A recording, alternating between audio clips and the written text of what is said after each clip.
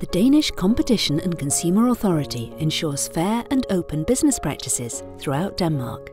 With rapidly accelerating data volumes for digital investigations, the agency recently deployed the Nuix Investigator Lab with web review and analytics to allow it to meet its tight legislative timescales and demanding caseload for investigating cartels.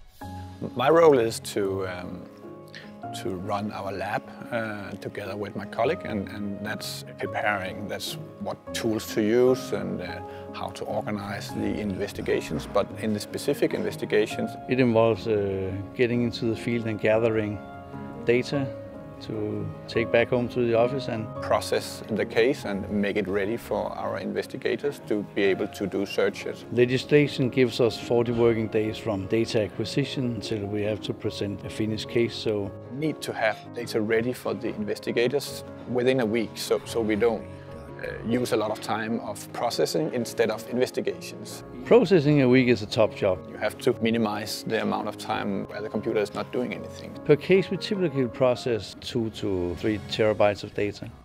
Uh, we started working with Nuix because we had an off-site job where we had to process the data on site and we bought one dongle and then it, it kind of escalated into five dongles working on single machines and now we have upgraded to the Nuix Lab Edition.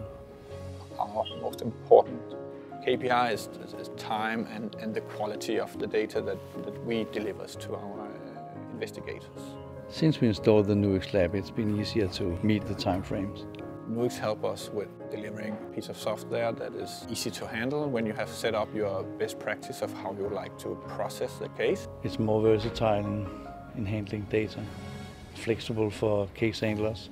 Yeah, the, the Nuix lab and, and the way it is uh, installed in this big server solution makes it possible for us to process a lot of data at the same time. Before doing this interview, we have uh, started uh, the computers and they are running right now and we are not uh, missing anything uh, during this interview.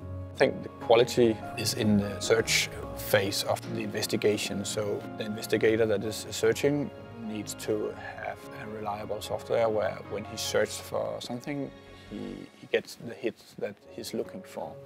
At the end of the investigation, it's possible for us to create a report with all the files that have been tagged during the investigation. So I think the, the tagging feature is, is working very well.